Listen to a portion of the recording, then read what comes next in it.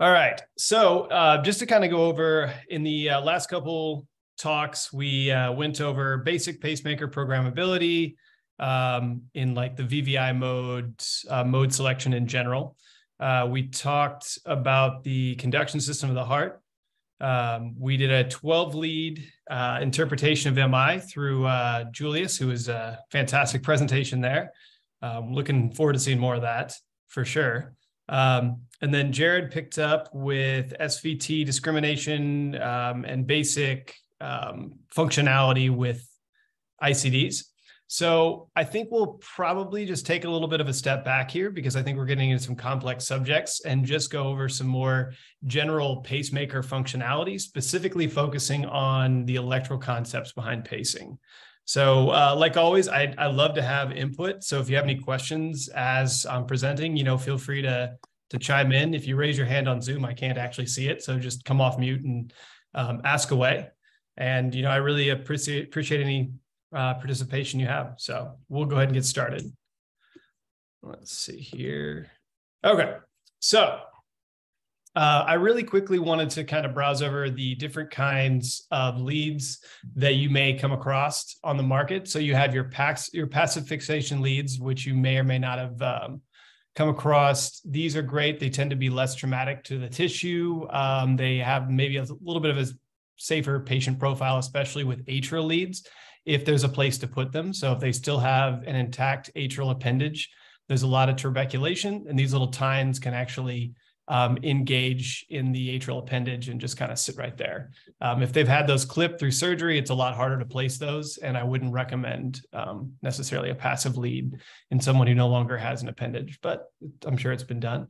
Uh, here are epicardial leads. So these, I looking at it, I believe this is the Medtronic style. Um, here is uh, manufactured by Greatbatch. Uh, this is more of an active fixation helix, but these are actually done by um, either doing a window or doing a full open heart surgery and attaching these leads to the uh, epicardium of the uh, of the heart. So the way it functions is it actually captures from the outside in.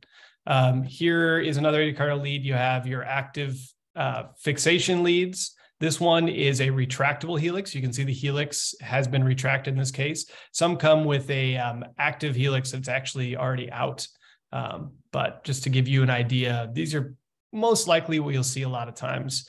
Um, so the way these function is you have your tip electrode, and then you have a um, at the distal end here, and then you have a more proximal electrode, or you use the can as your um, as your anode.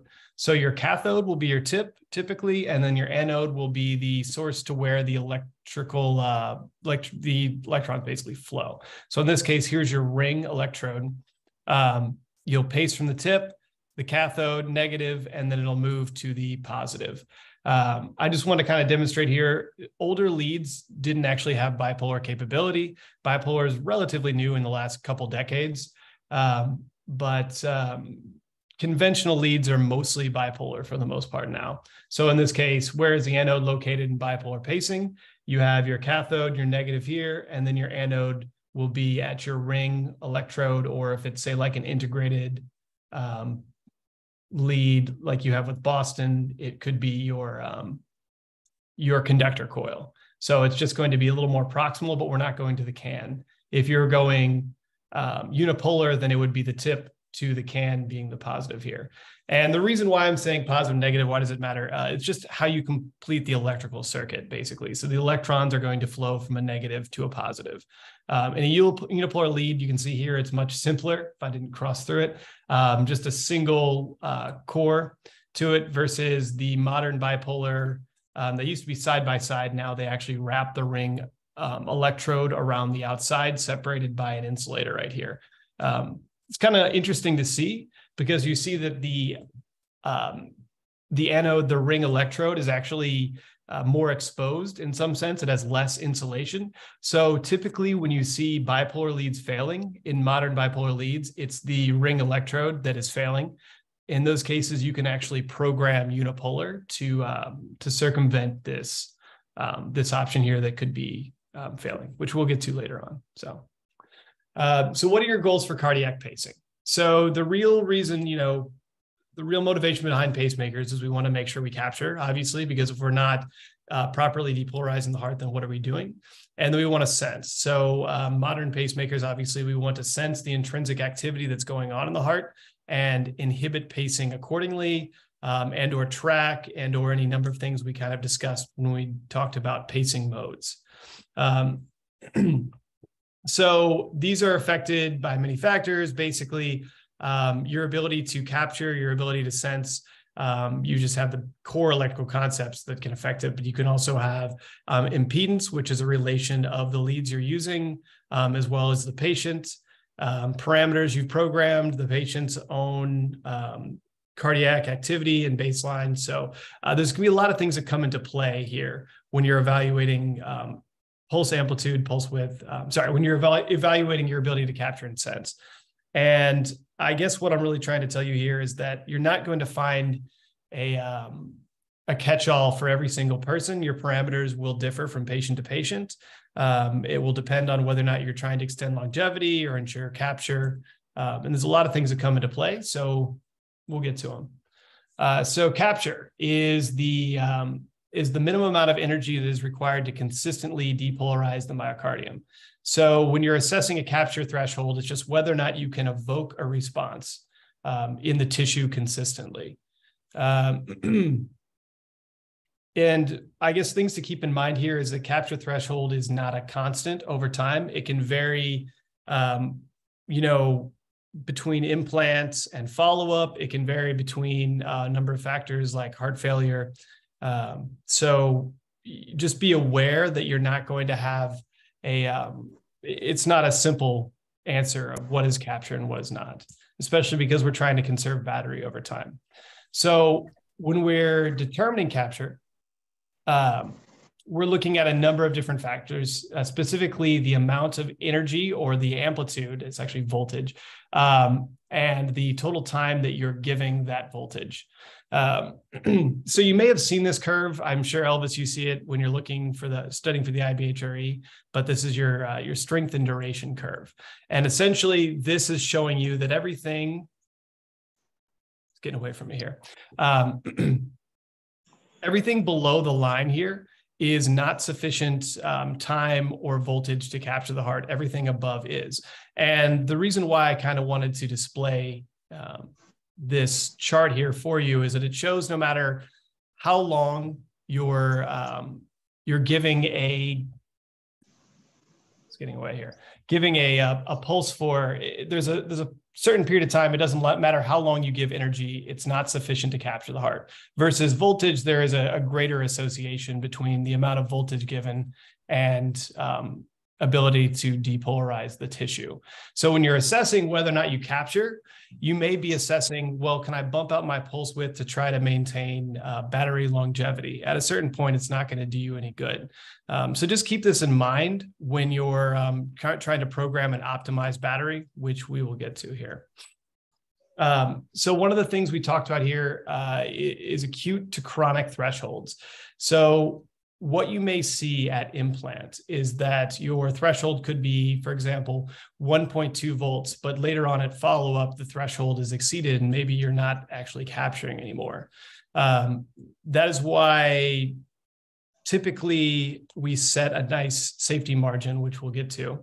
But um, just things to keep in mind as you're navigating and implanting devices um, is that you know initial implants don't necessarily determine uh, long-term thresholds. So I kind of wanted to visualize this for you, and these aren't you know given numbers; these kind of depend um, patient to patient, but it's not unheard of to have uh, out or thresholds that are uh, elevated above three volts during initial implant. I especially see, and I don't know um, you know what you other implanters see in the field. But for atrial lead placement for example when you really screw in that active fixation helix you may see the threshold even go up to five volts. Um, as long as your impedance and other numbers look good those are usually a recommendation to give it time. Because contemporary leads use steroid elution um, which I'll show you here on the next slide, but it really tends to bring down the threshold. So you'll see this initial rise in threshold associated with a current of injury. which we will talk about later um, when we're discussing implants. But you'll see this initial rise. Um, after letting it set in for around 20 minutes or so, you may see thresholds come down to more appropriate numbers. Um, but then at follow up, you may see that those thresholds have risen again up, you know, up to 2.5 volts. So just things to be aware of. So when we're talking about acute to chronic thresholds, we were, you know, steroid elution has really um, changed the game as far as our long-term outcomes and thresholds. So here is, an, is a slide kind of indicating the total amount of time, and then you're looking at the total amount of voltage needed to capture the heart. And an implant, you know, we're at one volt, great threshold. But as you see over time, before steroid elution, um, you tend to see this this sharp trend in uh, in threshold over the next few weeks, and then it slowly tapers back down to a baseline. But you still see an elevation over implant. With steroid elution, it actually helps to um, prevent scar building up around the electrode. Hello. Yes, sir. Good evening. Hello. Good evening. Oh. Oh, sorry. I thought you had a question there.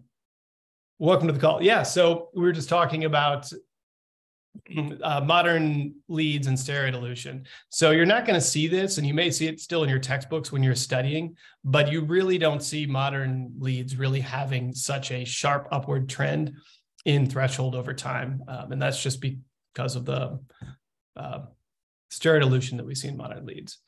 All right. So, what can affect thresholds? So, any number of things. Um, it can be activity, it could be the posture. So, you may evaluate a patient on the table. Um, and then right later on, when they're standing up, you may see that the threshold is different. That could be any number of things. It could be a vector difference, um, time of day, comorbidities, heart failure, whether or not they've eaten, whether or not they've taken their prescription drugs or any kind of um, non prescribed drugs um, and then progression of diseases over time. So things to keep in mind when you're when you're programming a patient just because you thresh, assess the threshold to be one volt you don't necessarily set them at 1.25 volts ongoing with a permanent setting because um, you could be capturing now but later on they stand up and walk around and now all of a sudden their uh, their threshold rises to two volts. Well, you no longer have enough energy to consistently capture the heart, and in patients who are dependent on a device, uh, that's not ideal. So things to keep in mind there when you're assessing. So that is why we have a nice safety margin. So modern safety margins, we do around two to one or three to one, or we use some sort of automatic capture algorithm to assess that. Abbott uses auto capture. Um, I don't know the names for the Medtronic ones, and Medtronic experts feel free to, to chime in. But uh, essentially, the device does it for you where it assesses what capture and non capture looks like. And then um, determines what the threshold is and then gives it a nice margin over the top. Um, if you're not able to do that, then we just merely say, for example, the threshold is one volt. We may set the output at two volts, so a two to one margin. Um, but the big thing is we're not we're trying to extend the longevity of the device without compromising the safety for the patient. So uh, when you have these fluctuations, obviously it could not be ideal. Um, really quick too, while we're on this subject here, um, you know, feel free to contact any of us when we're trying to optimize the battery. Um, one thing to keep in mind is that not every manufacturer has the same um, battery makeup, and the batteries don't always function the same based upon the, the circuit board attached to it. So, for example, Abbott devices have what's called a voltage doubler at 2.5 volts and a voltage tripler at five volts, right? So if you can, um, we discuss the, th- the strength and duration curve here. If you can, it's a little more acute, I guess, like that. Um, if you can keep the voltage underneath 2.5 volts, you'll find that the battery lasts considerably longer because it doesn't have to the circuit board doesn't have to basically double the amount of energy being drained here. So, for example, if we assess the threshold um, at two or three, say three volts at 0.4 milliseconds, but the threshold is going to be, for example, at one millisecond, it's only going to be one volt, right? So in this case, it's actually advantageous to program the patient two volts, if I can do it with my right hand, at one millisecond. And that sounds counterintuitive, right? Because you're delivering energy for twice as long in this case. But because you're not hitting a voltage doubler, um, you're more efficient in your output.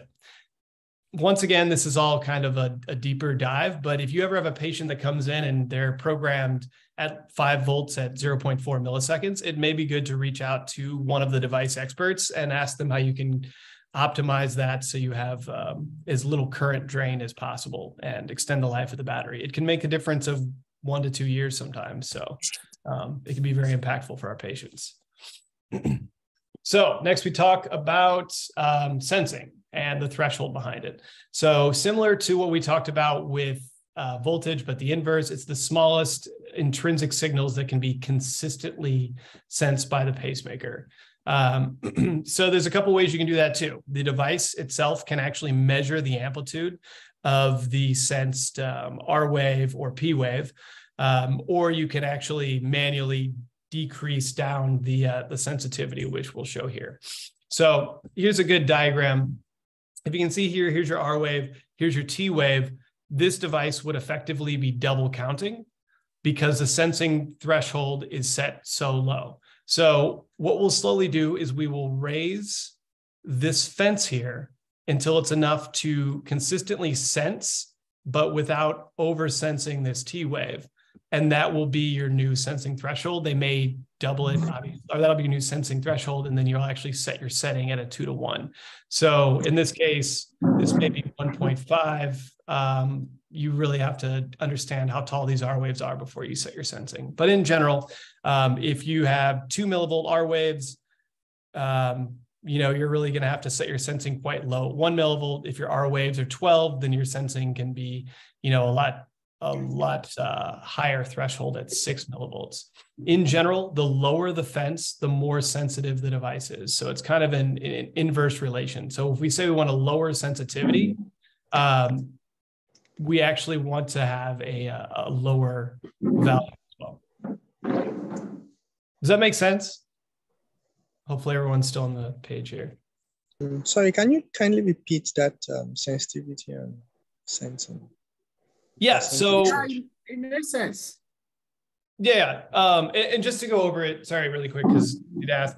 Um, basically, your sensitivity threshold is this fence here and that's that's the best way to like kind of picture it as as a fence um, and your goal is to not see what's happening here with the t wave but you still want to see what's happening here with the uh, with the r wave right so you have to raise your sensitivity value so that it's above the t wave um, in this case if you have your sensitivity set at 1.25, you are very sensitive. So the device will see every kind of signal that is above 1.25 millivolts.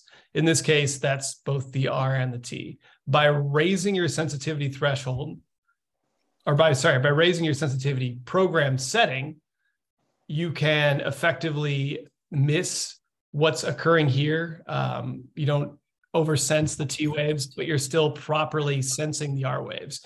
That way, the device can respond accordingly and inhibit pacing when it needs to um, and pace when it doesn't.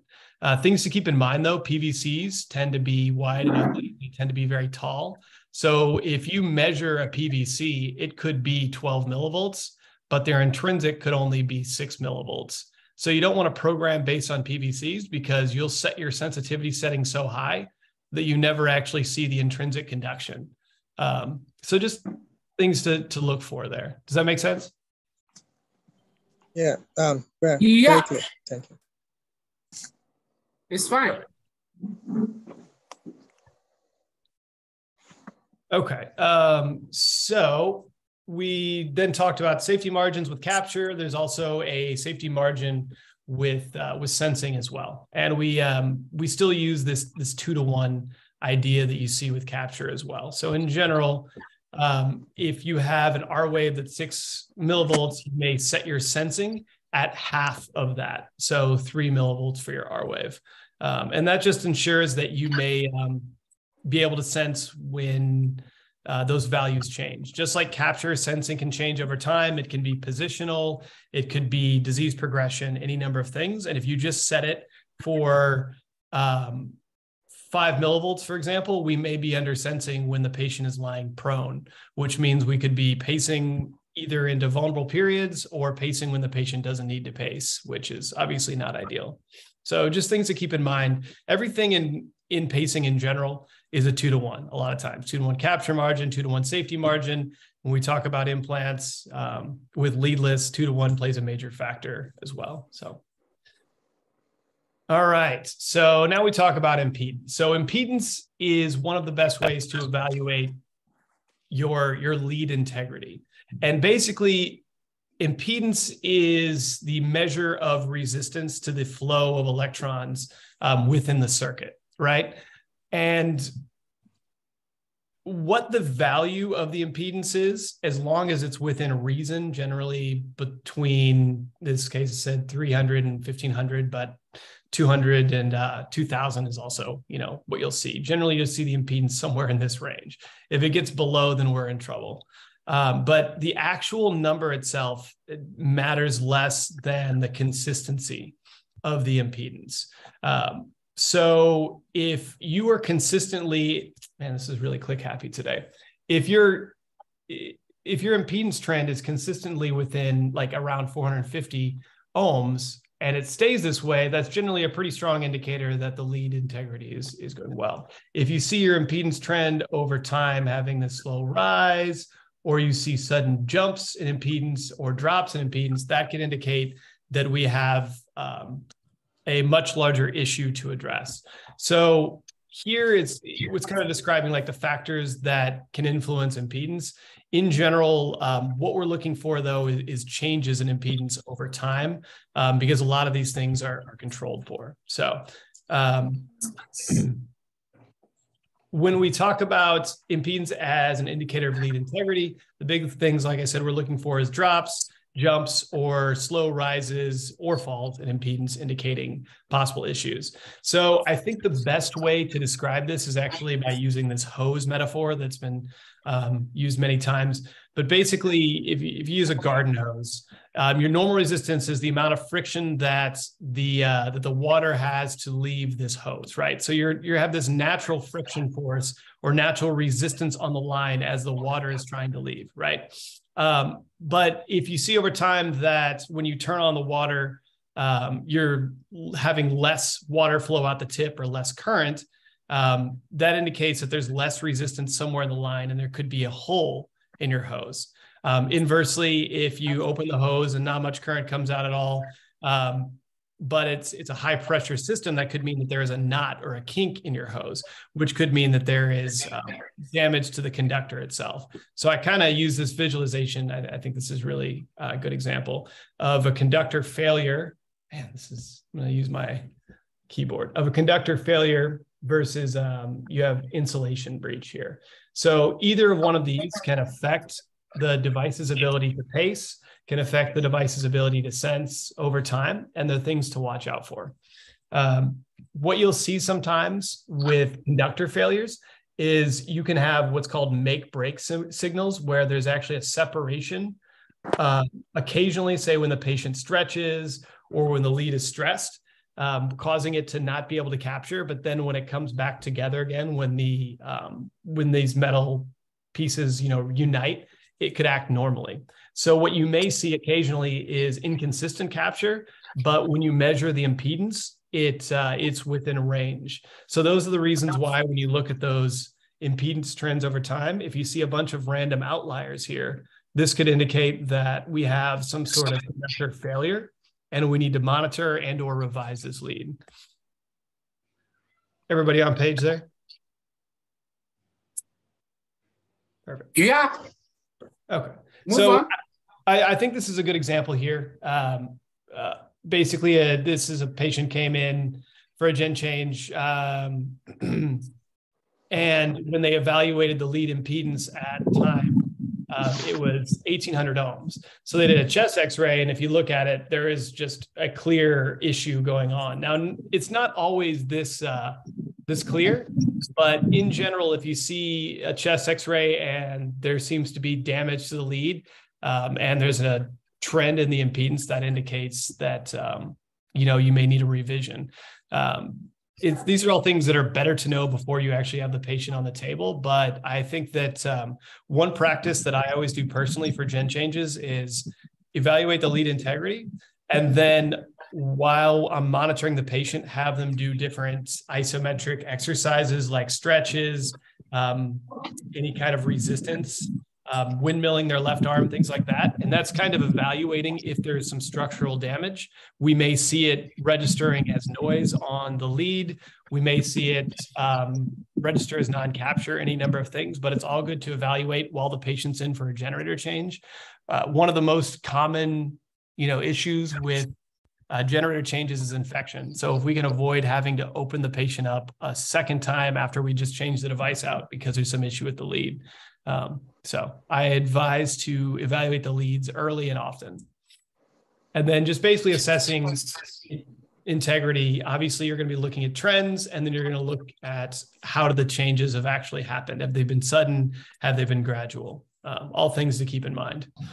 We had talked about pacemaker functionality, but just to go over it because I think it's really important for everyone. Just remember pacemaker functions with uh, ICDs will inhibit therapy as far as shocks, but will not affect the pacemaker. Um, with a pacemaker, when you apply a magnet to it, it will cause it to pace asynchronously, um, either VOO or DOO, depending on its programmed. And then it's also usually used to be an indicator of battery life. So in Abbott devices, if you place a magnet over a pacemaker and it's 100 beats a minute, that means that it is uh, generally a, a, pretty good battery and they have some more life left on it. As you get closer to 85 beats a minute asynchronous, that indicates that the battery is uh, nearing what's called ERI, um, where it needs to be replaced. So you can use that to evaluate as well as using magnets during surgery so that you don't have to permanently program the device. As long as the magnet is over it, it will be in its magnet mode. Once you take the magnet off, it resert, uh, reverts back to a non-magnet mode everybody cool on where on all that as far as the electrical concepts? How does everyone feel there? Yes. Yeah, it's good, mate. Yeah, that's good. Thank you. Okay, sounds good.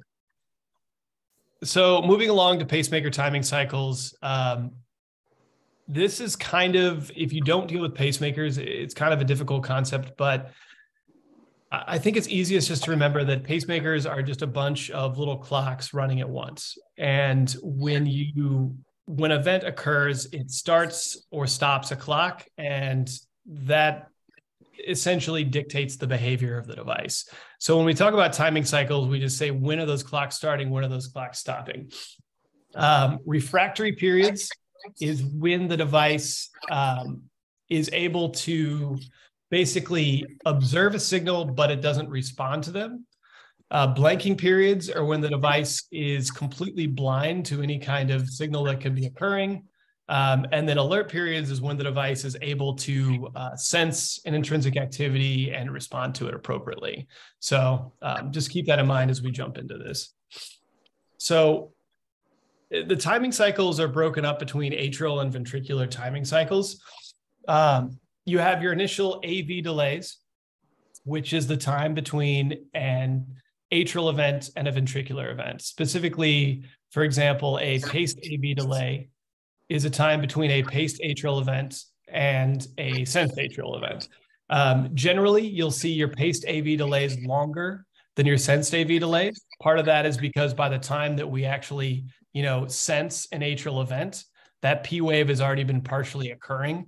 So we don't need to necessarily give as much time before we pace. We want to have enough time to have adequate filling, but we don't want to wait so long that they, um, you know, they lose that atrial kick or that 30% of their output. So that's why you'll see sensed AV delays generally a little shorter. Uh, responsive AV delay, that's just used um, to kind of act like a normal healthy AV node. As your exercise um, increases, you may see the natural time between a P wave and a QRS complex uh, gets shorter. Um, and that's just uh, basically this is us trying to copy that, that natural occurrence there. Uh, shortest AV delay is how short it gets. So we'd spoken in the past about VIP. I just want to kind of go over that briefly. So um, essentially here, we're just trying to visualize how the AV delay functions. In this case, we have an atrial sensed event occurring here, which starts our AV delay. If you remember, our sensed AV delay in this case was 150 milliseconds, so we'll call it 150. I'm not going to count out the boxes here. It waits its full 150. No ventricular event occurs, so it paces. This, um, we wait till the next timing cycle, and atrial clock is started once again, sensed AV delay. When this atrial event occurs, it waits 150 and paces. And it will just continue to do this until um, either an atrial, either a ventricular event comes through. If a true ventricular event comes through, it will then withhold the pace and reset the clock. Same thing. Um, in this case here, you see a paced event in the atrium, and then you see this delay um, in the ventricle is reset to 180 milliseconds. So you see a little bit longer delay. Um, does everyone kind of understand the concepts behind this? We've talked about VIP in the past, so this is a bit of a backtrack for some of you all, I'm sure. Um, but basically, I'm just trying to demonstrate how the device um, how the device regulates the atrial and ventricular events. And my wife just walked in, so um, if an R wave is sent, so as we spoke about here, we have an ACE, we have a paced atrial event. It sets the paced AV delay, ventricular event paces, so on and so forth. In this case, we have a sensed atrial event it sets the uh, sensed AV delay, but because an intrinsic ventricular event comes across before this timer runs out, it withholds the pace and then resets the timing cycle again. Um, same thing occurs here. And then here again, we have an atrial pace. A sensed ventricular event comes across, which resets the timer and it withholds the pace. Basically, um, the device is kind of responding appropriately. Um, next, we have PVARP. So you may have heard of PVARP or post-ventricular atrial refractory period. Um, and basically what that means is that after a ventricular event, the atrium is put into refractory and doesn't respond to any kind of sensed event that could occur. Um, and the reason why we have PVARP, the reason why it exists at all, is a risk of retrograde conduction. So we talked about the AV node in the past um, and the intrinsic conduction of the heart.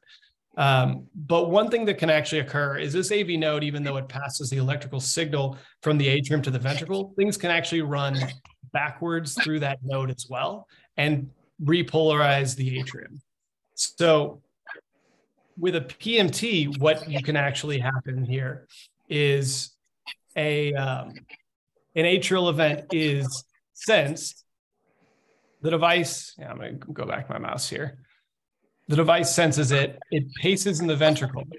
But because we don't have, um, because the atrium may, may be in refractory for whatever reason, um, or say this is a PVC, the electrical impulse runs retrograde into the atrium. It is sensed again. The device sees it, interprets it as a true atrial event, and then paces again in the ventricle. And this creates essentially an endless loop tachycardia, but with the pacemaker being the accessory pathway. So when you talk about SVTs or AVNRTs, things like that, this is your pacemaker acting as um, the accessory pathway by essentially V pacing, sensing the retrograde event in the atrium, and then pacing on and on um, at a high rate. So with PVARP, what happens is when we have a ventricular event occur, the device effectively ignores anything that occurs in the atrium for a certain period of time. Um, in this case here, for example, our PVARP is too short. We have a PVC. This causes a retrograde A, and you can actually see this P wave right here. The device sees it as an atrial event. It then V paces, which causes a retrograde A, which the device sees an atrial event and it V paces on and on forever. if we've appropriately programmed our PVARP, when you have a ventricular pace, the device is in refractory for this period of time here where it's not watching. It will miss this atrial event and will stop this endless loop tachycardia from occurring. So that's why it's really important that you program your PVARP. Everyone on page with that? Yes. Okay. Move on. Perfect. Um, next, that brings us to PVAB. So that's your post-ventricular atrial blanking. Um, so basically for this, this is actually when the device is blind after a ventricular event. If you've inappropriately programmed your PVAB, what you may see occurring, like in this case, is double counting um, of atrial, or you'll basically see double counting because you'll be counting the ventricular signal on the atrial channel. Um, this can essentially lead the device to, in this case, it said AMS, but it senses this as an atrial arrhythmia when this isn't an atrial arrhythmia. This is just a functionality of improperly programmed PVAB. So, had this device had a proper PVAB, when this ventricular event occurred, either VPACE or VSENT, um, it will blank for a period of time, which will miss the, the atrial event um, being oversense here and the device will no longer count this. So basically what we're doing with PVAB is we're trying to obscure what's happening in the ventricle on the atrial channel um, to avoid inappropriate mode switching. Things to keep in mind. Now, you don't want to just bump out your PVARP and your PVAB. Uh, that can actually uh, just too far because that can affect a number of things like your two to one block rate or your device's ability to track high rates. With ICDs, it can affect your ability to discriminate um, atrial versus ventricular driven events because you may be undersensing atrial events. So PVAR, PVAB, all these timing cycle programmings uh, really come down to the specific patient, right? So the patient doesn't have conduction, we would have uh, short AV delays. If they do have conduction, we may have long AV delays. If a patient um, has very long retrograde, then we may set their PVARP at 330, 400 milliseconds. If the patient has no retrograde conduction at all, then you may shorten it to 175. Um, and you know, it's less important to memorize specific numbers and programming, and more uh, important that you analyze the specific patient and optimize a device for them. So these are the kind of cases when you can reach out to us to help you through this process um, and assess, you know, how to program appropriately. So here's a good visualization of PVAB and PVARP. Uh, they both will start at the exact same time. So your two clocks both start at the same time. However, um, your PVAB obviously won't extend as long as your PVARP. So you have your atrial paced event, you have your ventricular pace, which starts the PVAB timer and the PVARP timer. Uh, this effectively blanks out any kind of far, um, you know, any kind of ventricular signal on the atrium with your PVAB and then this will kind of uh, obscure any possible possibility of retrograde or inappropriate tracking with the device. Um, same thing here. If you have an intrinsic ventricular event, when the intrinsic ventricular event is first uh, sensed, that starts your PVAB, your PVARP timers as well.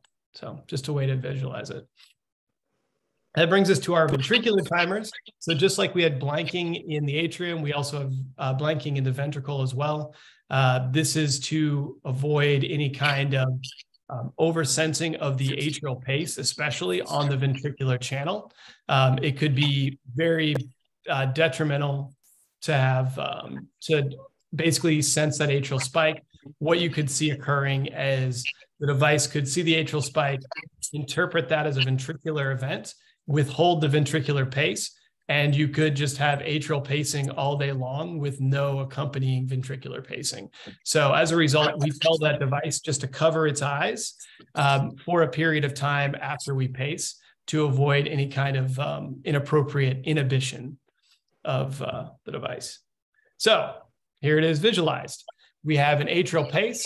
We don't actually see what's happening with the ventricular signal this is just an EKG, but the device has immediately sensed a ventricular event and it withholds its ventricular pace. We see a VS here.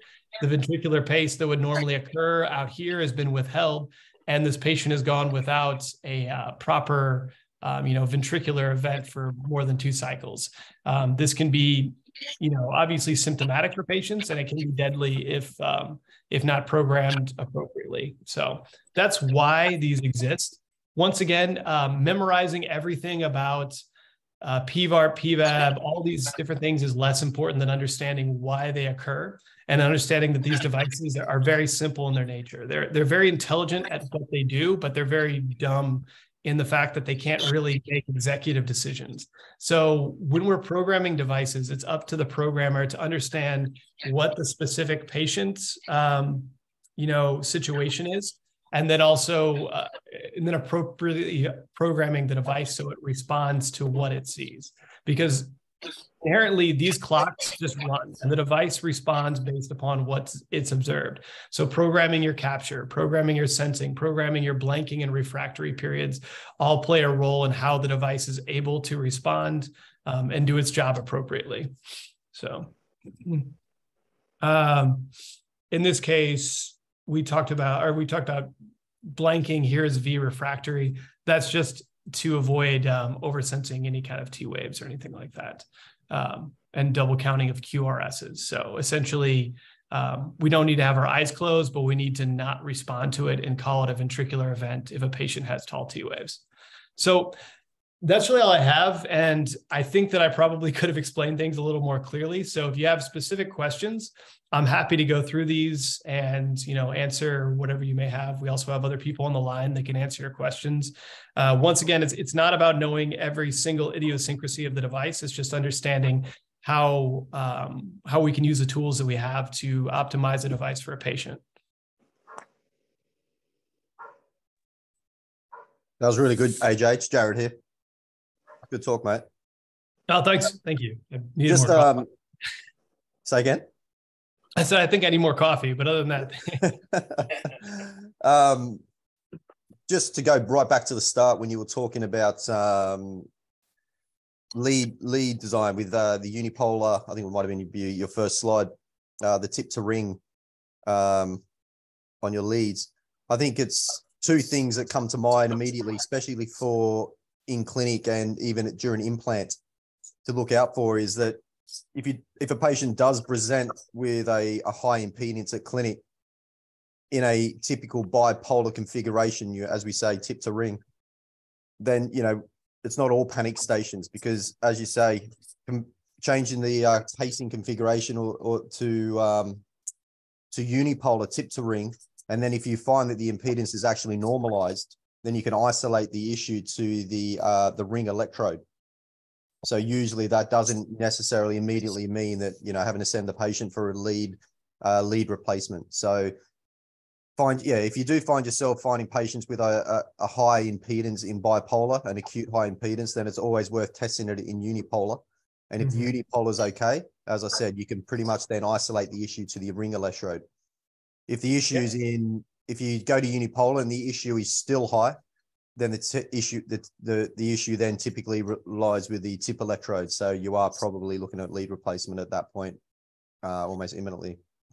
I, I don't know about you, but I, I have seen some instances too where you can capture better ring, um, ring unipolar. Um, and in those cases, I I think it's typically some sort of um, calcification or things like that on the electrode. I don't, have you observed that as well, where ring is still an option sometimes? Yeah, once or twice, but not a huge amount. Um, yeah. I think you got to get lucky. But um, the other the other instance, which is probably worth bringing up, is is especially at implants, um, especially maybe for an operator or even as the even as the uh, the rep or the physiologist in charge of, of testing the device is when it comes to if you think there's an issue maybe of perforation. Um, again, we're going to be typically programmed tip to ring here and sometimes, if you do have lead perforation, then usually your tip electrode has come out perhaps of the myocardium. But because your circuit with the ring electrode is so short, you can still capture enough myocardium with enough output. And if there's ever an issue, perhaps that you have perforated, then again, it's it's always worth programming uh, the device to unipolar tip to tip to can. And if you get no capture, then that is probably evident that the tip electrode is outside of the myocardium. So it's just a little tip there. If you do think you've perforated, program unipolar. And if you've got no capture, um, the chances are that your ring electrode is outside the myocardium. But you can be you can be fooled sometimes in bipolar if you have perforated that you've still got capture because because it's such a small circuit with enough with enough output you can still capture around that ring electrode. So again, just something to be look forward to look to look towards and um, can also be seen perhaps on your if you measure your injury current you may get a, a negative injury current as the current is moving away from the electrode mm-hmm. so again that's another indication that perhaps you are uh, have perforated so yeah just, just for clarification to the group when he's speaking about injury current so when you are evaluating the unfiltered signal on um, the psa or pulse sense analyzer we use during implants um, injury current is basically widening of the QRS and or um, you know like you may see like a T wave um, elevation as well from baseline versus like a narrow signal. So if you look over and your paced signal, you're still capturing, but it's very narrow versus maybe a, like a wider signal here. Um, that could mean that you don't have good tissue contact. Um, in this case, he also mentioned negative. So if you see a negative injury current from baseline, that's that's usually not ideal. I, you can be tricked depending on how the lead is setting um, against the myocardium, but in general, that just means that the electrical impulse is moving away from the uh, the tip electrode. Um, Jared, that, that was a really good point. I what you mentioned as far as capture. Uh, one thing that I um, a physician showed me a, a, number of years back that I thought was pretty cool, and I, I like to use for implants is um, just quickly going unipolar uh, with the cables as you're implanting a lead, just to assess whether or not the unipolar impedance is higher than the bipolar impedance. So in general, your unipolar impedance through the electrical system should be lower. But if you've perfed into the myocardium, what you may find um, is that your unipolar impedance, because you're outside of the heart itself, um, is is higher. And um, in those cases, it's always a good idea to pause and maybe assess the lead if you do see that. It's not always 100% um, specific. You can get false positives, but it's pretty, um, you know, it's pretty sensitive as well. So you're you're more likely to get a false positive by having a higher neg- uh, higher uh, unipolar impedance, but um, you're more likely to detect it in general. So just a, a quick trick that you can just do as you're um, assessing lead integrity, especially if um, during the implant they seem to have put it into an unsafe location, like more anterior, um, as opposed to more septal locations. Absolutely. Um, I, was going to follow up with what Gerard, um, Gerard, Gerard was saying uh, with with the um, um, like ST depression as opposed to STEMI for your injury current. Um, and you, you got obviously both of you have covered it really, really well. But the other thing also, if you've got like a half perforation, what we did notice in the patient is that um, with your sensing of the R wave, you can have like respiratory variations, can also have a fluctuation in the R wave sensing as well. Um, so that that could also be an indication that, that there is a slight perforation. For instance, if the tip, if the anode has, has maybe sort of gone far beyond and and the ring is still in the in the myocardium itself. Um, so as you breathe in and breathe out, you might get some fluctuations in there. And we saw that with, with an ICD patient a while back.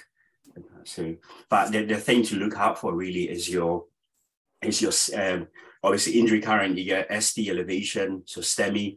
Um, if there is a perforation going through, then you get your um, ST depression really for the, on, the injury current. So look out for that. Um, but also remember that uh, the person, the implanter, could also reverse the pulse as well. Yeah. Um, that can also cause that as well. So watch out for that, especially for registrars who are not who, who are inexperienced can can also do that as well. So also make sure that they put it, they put the pose on right when they're connecting it to the lead um, tips, um, the terminal pins. So. Yeah, that's that's a good point. Fellows fellows will do that, especially like people who are still training will just you know. Um, so in general, uh, for everyone, if you're doing you know hooking up a lead, it's it's black to the pin and then red to the ring. But you know, we'll tell you in the case when we see a negative injury current.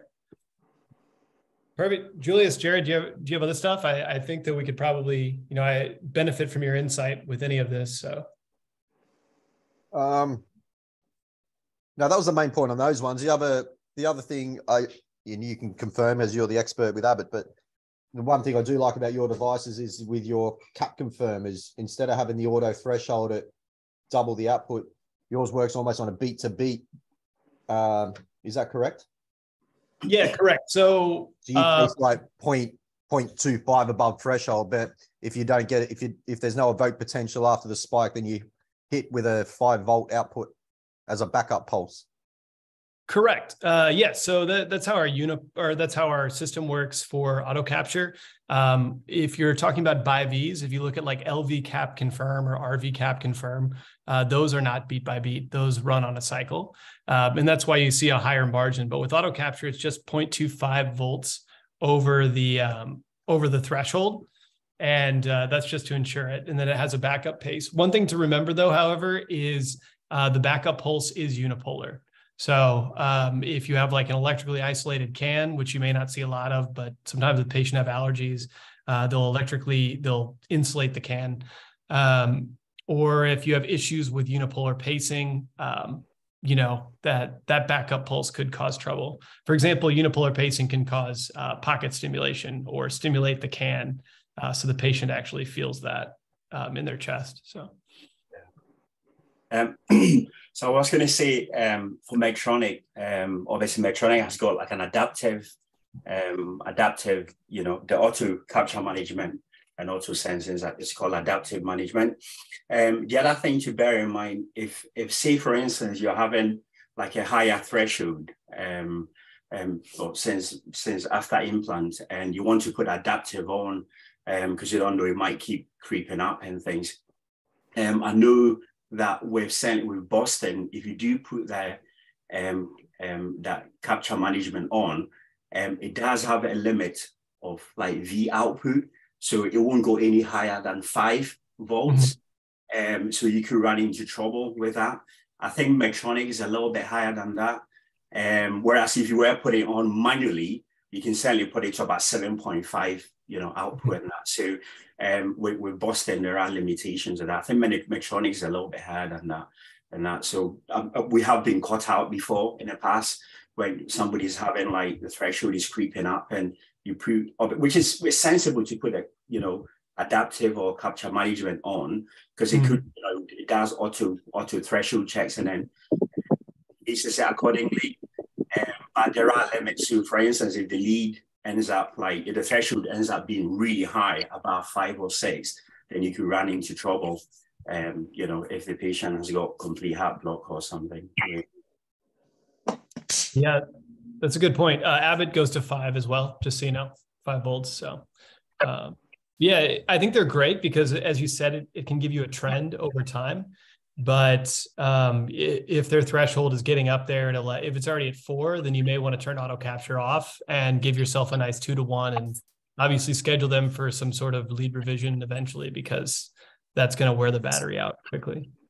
Uh, one thing too to me, I want to mention with Abbott's auto capture, and I'm sure with the other devices, is there they can be tricked with um, fusion. So we talked in previous weeks about fusion um, and pseudo fusion when you're pacing into an intrinsic event, and you either contribute to the pacing or it doesn't really do anything. Um, the device using its auto capture algorithms is looking at what the evoked response is from the pacing spike to the actual, you know, evoked response of the tissue. And if you're fusing, that can change the morphology of the wave. So patients with AFib with RVR or a lot of PVCs, it can no longer determine, well, this is what capture looks like. It may think it's not capturing and it will go to a high output, which means that it'll just go ahead and start pacing its backup pulse here at five volts, um, unipolar. So a patient that could have a threshold of 0.5 volts at 0.5 milliseconds may be pacing all the time at five volts, prematurely wearing down the battery because we're trying to make auto capture work when it doesn't work for this patient. Um, in those cases, just set a nice fixed output. So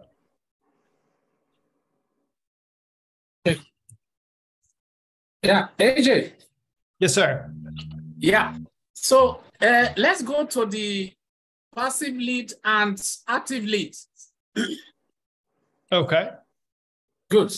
So uh, for, because here we plant more of uh, active lead here. Uh, I think about 98% of our implant here are active leads. Hmm. So one of the things that we also observe in our implant here is once the, for the active leads, once you rotate the, the tip of that uh, body of the leads and the screw comes out at the end into the myocardium, Mhm. that screw does not move further again. So the risk of uh, perforating the myocardium in the new technology is very, very low. But if you rotate it several times, because once the leads, once it comes out, I can show you, I have a lead here. Yeah, once it comes out, you can see it here. Uh, I don't know whether you can see my hand. Okay, good, good, good. Let's see. Yeah, you can see my hand. Am I right? Good. Yep. So once this lead come, once it comes out, it doesn't move. It doesn't move further from that point. So rotating it several times means that that screw is going to be turning within that segment where it pierces the myocardium, and it has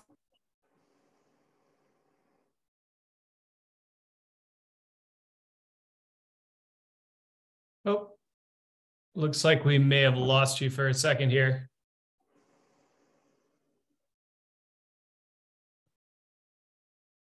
So I'm going to give him a little bit more time. I'm not sure if everyone else can hear me. Um, is anyone else in the line still, or do we lose everybody? I'm here, mate. Okay. No, Okay, we'll wait for him to come back. But for those in the line, um, what he's talking about is essentially the the screw here uh, is comes out. So you make contact with the tissue itself, and then um, you will then exercise or you'll then extend the helix into the tissue. Um, for St. Jude devices, we generally look for a nice W shape on fluoroscopy to indicate that you've put the screw out enough. If you screw it out too far, though, you can you run the risk of having microperfs, um, which are obviously not ideal for the patient. I don't know, uh, Jared, um, Julius, what what are your what are your general uh, what do you look for for a Medtronic lead when you're putting it out? Yeah, with especially with Medtronic, they have a um, they have little markers that are seen under fluoroscopy. So what we usually typically do is just zoom in with X-ray, and you can see Hmm. the the you can see the radiopaque markers close up, so you know then your helix is fully extracted. Um, so you know at that point is when you stop rotating the helix. Hmm. Um, I know with Boston leads, they have a little different because obviously a lot of the other leads uh, is you deploy the helix, but in some of the Boston leads, I know you actually have to rotate the actual whole lead to the helix is actually out already. and Oh yeah, a- yeah. It's got a covered tip on it. So when it hits the myocardium, the blood, it dissolves or something, and then you actually physically rotate the whole lead to um, to migrate it. So just a little thing, little something a little different, but something to look out for as well. Yeah. Uh, so what he was referring to, uh, sorry, Julius, I don't know if you're jumping in, but what uh, like a Boston sweet tip lead, it has like a sugar uh, or polysaccharide on the front uh, on the tip that kind of isolates the um, the uh, helix as you're moving through the vasculature because you don't want to have this traumatic sharp helix out. It'll just get caught on everything. So you get it inside the ventricle and then it dissolves um, oh, after a, a minute or two, and then you're able to actually screw it into the tissue uh, without it getting stuck up here when you're in the um, you know SVC region.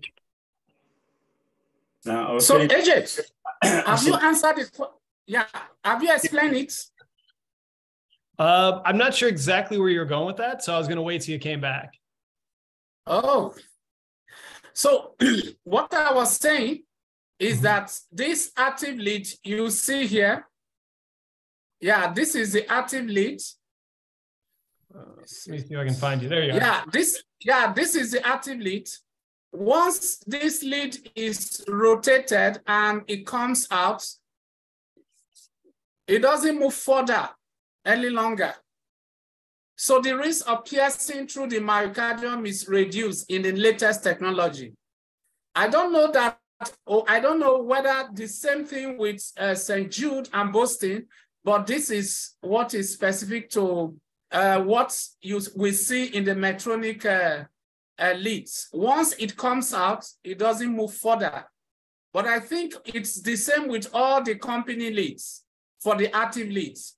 So the issue is that once it comes out, there is no need of uh, further turning because it will rotate in this at the same point. Mm. The second thing is you talk about you talk about the current of uh, injury. Mhm. Are you looking for the positive deflection or you are looking for negative deflection or for both? So negative is an indicator that you could possibly have perfed. Uh, so in general, you don't want to see negative. There are specific Yeah. instances where the lead could be laying against the septum. And if you think about Yeah. the depolarization of the heart, I'm going to move you here.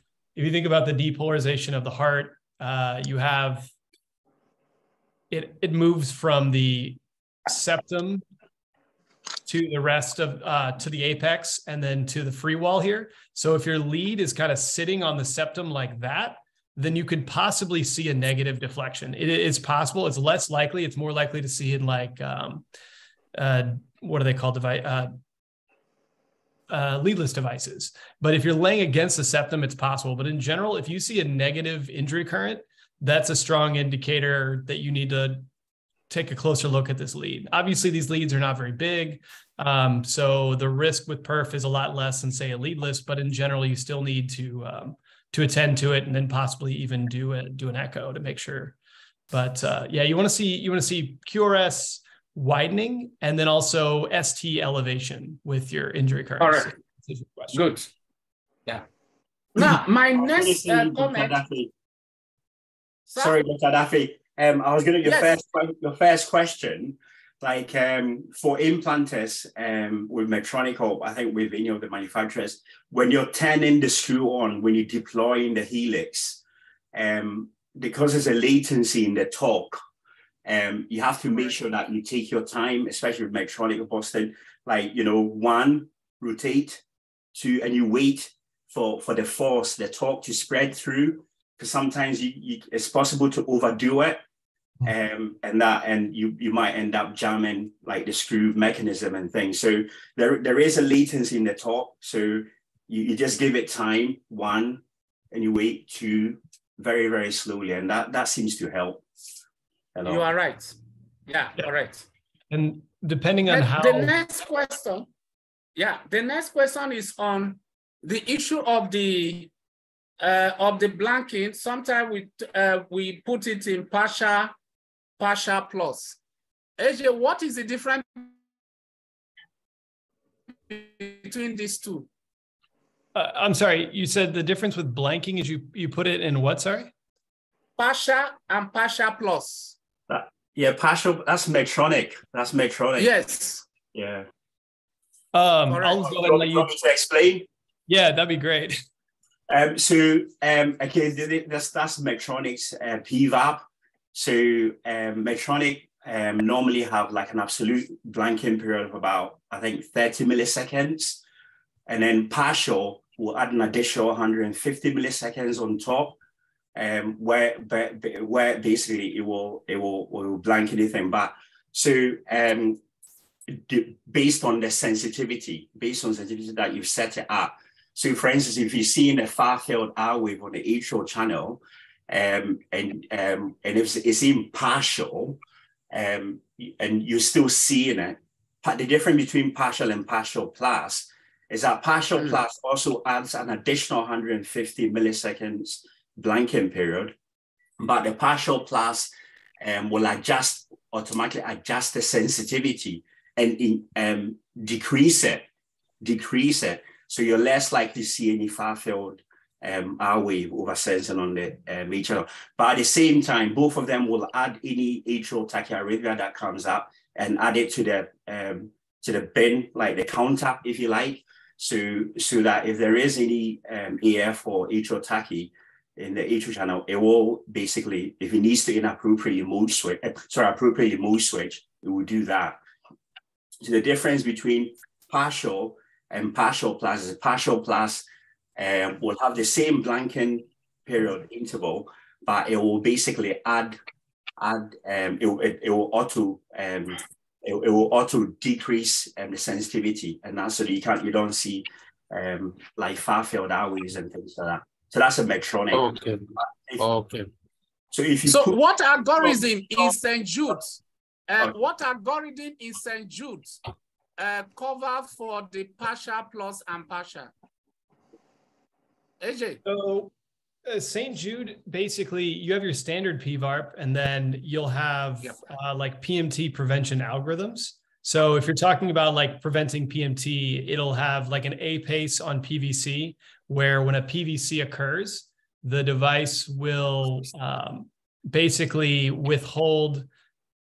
It'll avoid atrially tracking, and then it will atrially pace to regain control of the atrium and then it will restart the cycle. So basically, what it's doing is it's saying like ignore after a PVC, ignore what could be happening in the atrium, wait 330 milliseconds, and then atrially pace to regain control of the atrium and restart the cycle to try to keep a PMT from ever occurring. And then with PMT, there's different algorithms to um, basically determine by doing wiggle tests. It, I could really get into the weeds here with this, but in general, um, just different ways that the companies have found to uh, to avoid causing PMT. When you talk about absolute blanking, there are um, I think we kind of talked about this. I don't know, maybe Elvis, maybe this was you and I when we were talking about it the other day, studying for the IBHRE, but the devices have um, basically looking for crosstalk detection windows and things like that as well to avoid any kind of crosstalk and inhibition um, and that's more of the PVAB side of things, which would be absolute blanking. Thank you, sir. Well, okay.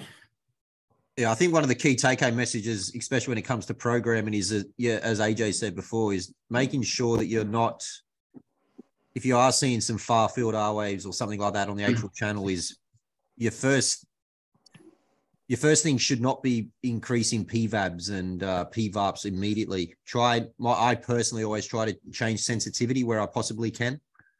Because as we, a bit like with an ICD, if you start putting your PVABs out and your PVARPs way out, then as you go into maybe sinus, you know, high rate exercise, then you may end up having end up blanking actually appropriate sinus beats. So it's um it's important to use sensitivity first when trying to get rid of far field R waves and not necessarily blanking.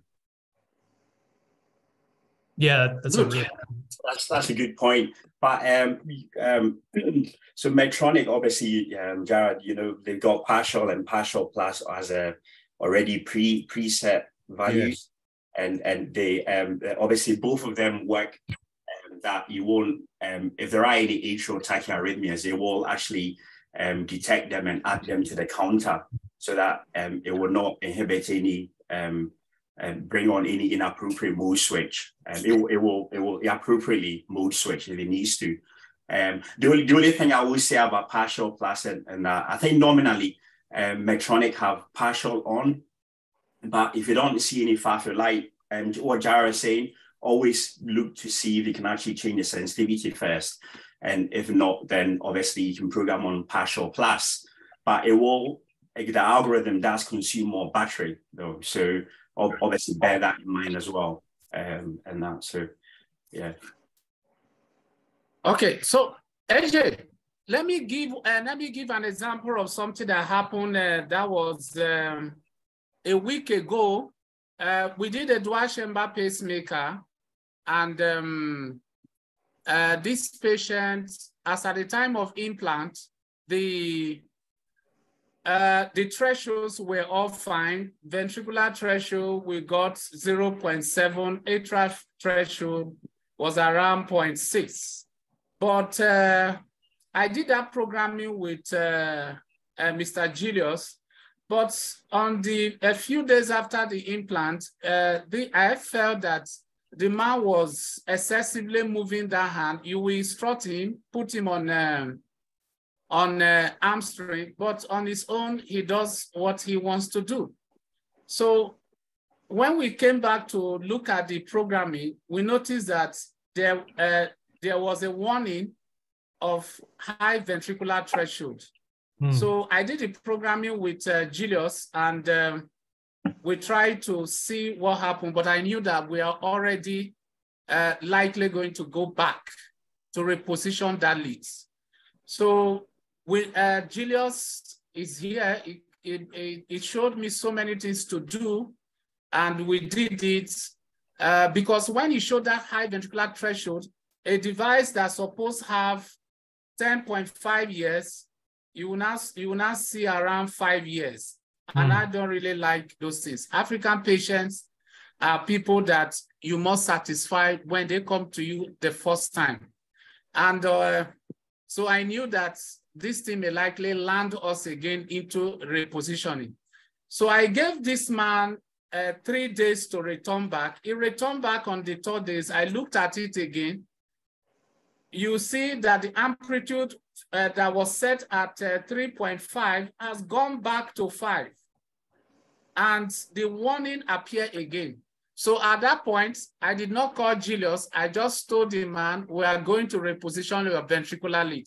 So we went back, opened up again, and repositioned the ventricular lead. It took us about 20 minutes because we opened up, uh, took, um, took a stylet into the ventricular lead, unscrew it, then reposition it and uh, close back again.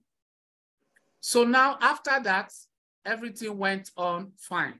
So what could you have done, AJ?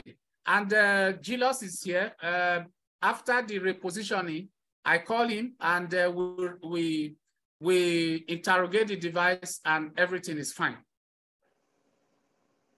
Okay. So what would you have done before revising, do you mean? Or what would you have done?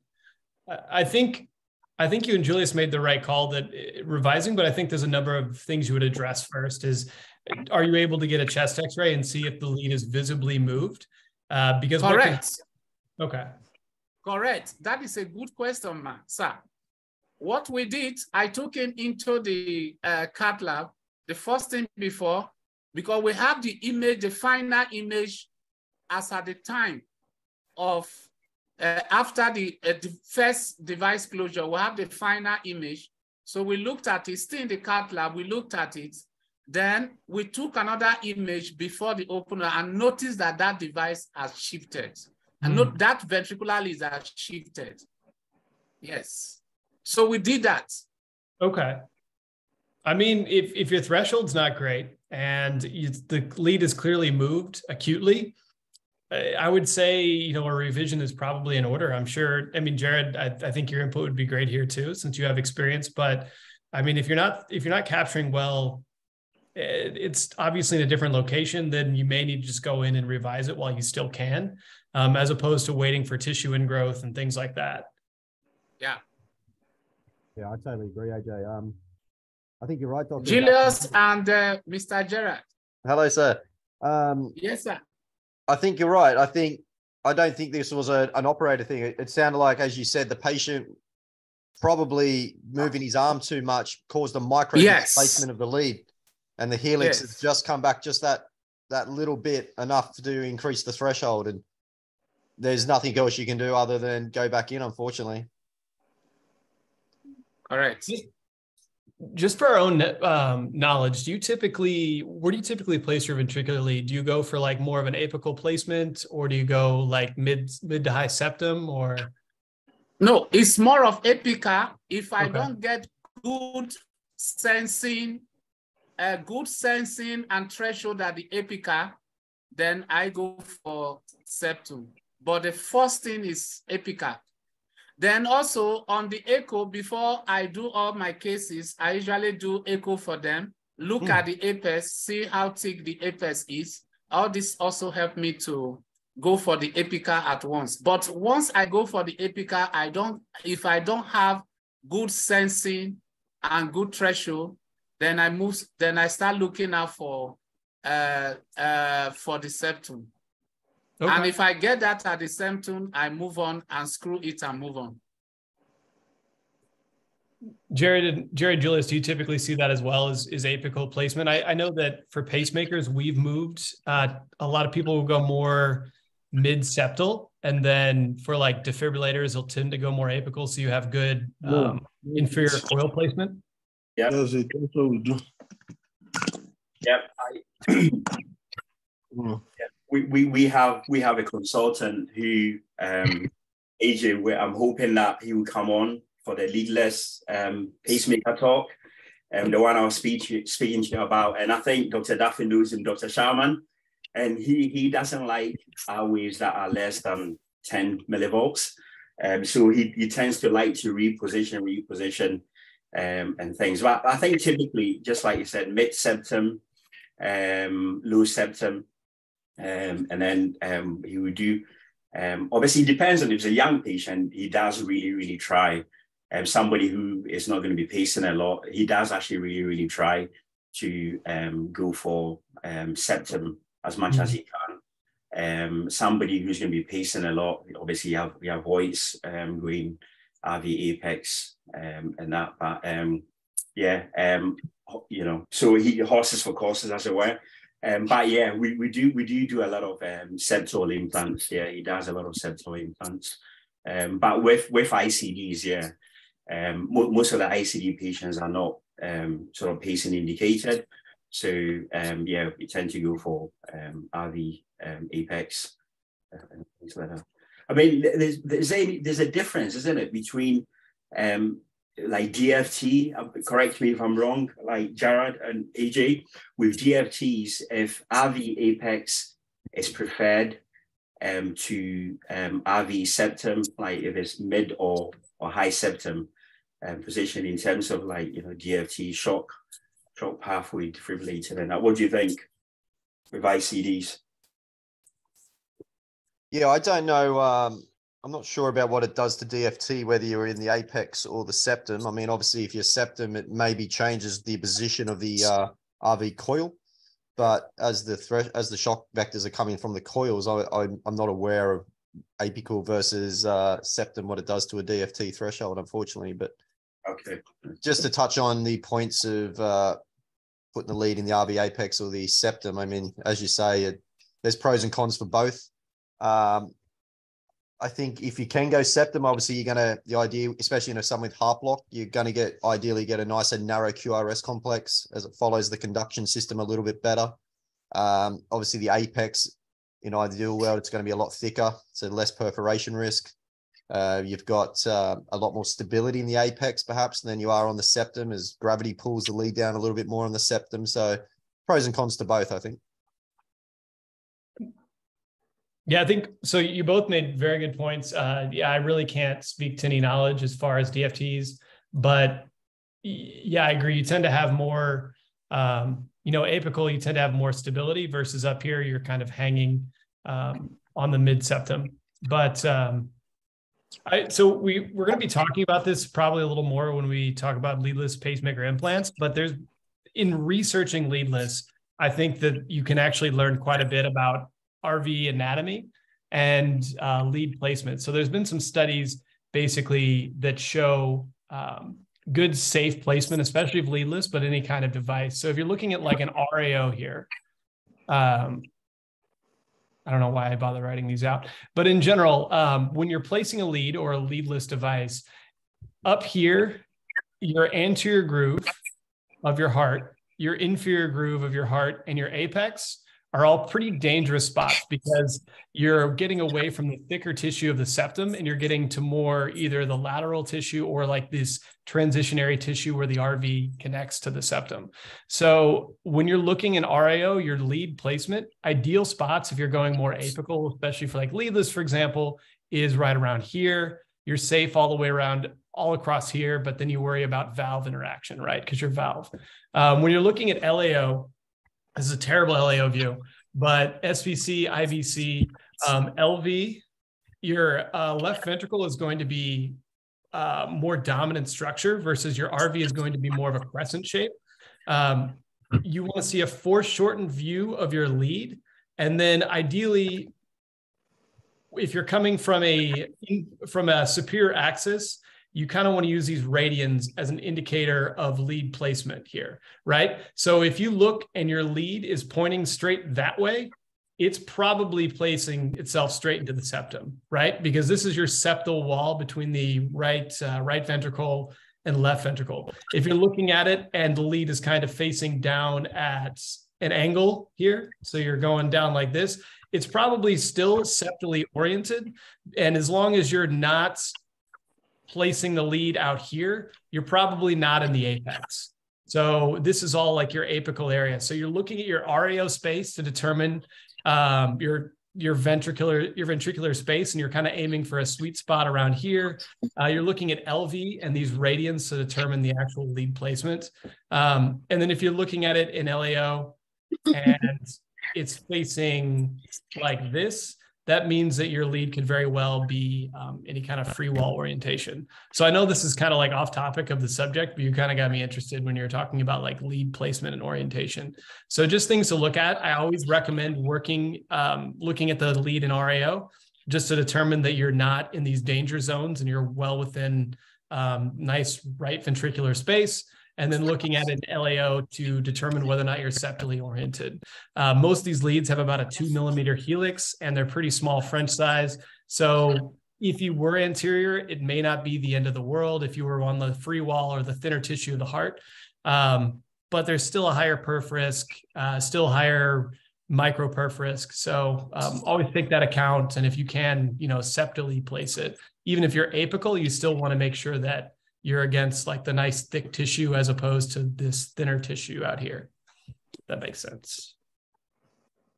Yeah, it makes sense.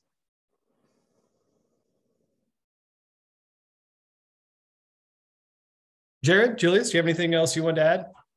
No, that was perfect. I thought that was really good. Yeah, that was nice, mate. Look forward to look forward to the leadless talk. Actually, Yeah. I'll be honest. So I, have been studying leadless for about a year and a half now as we go through our launch, and it has made me a lot better at understanding like the right ventricular space, and made me a better implanter in general. I would say not implanter, but you know, rep.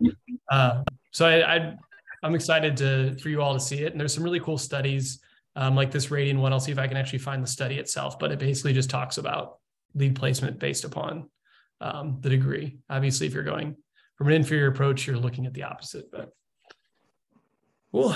Well, I appreciate you, everyone, um, jumping on this call. Sorry, I kind of bumbled my way through the first half of the call, but I'm glad we got there in the end. And um, yeah, if you have any questions, reach out to me, reach out to any of our other friends here. We're all here to help uh, support and you know build these programs. So let us know how we can help.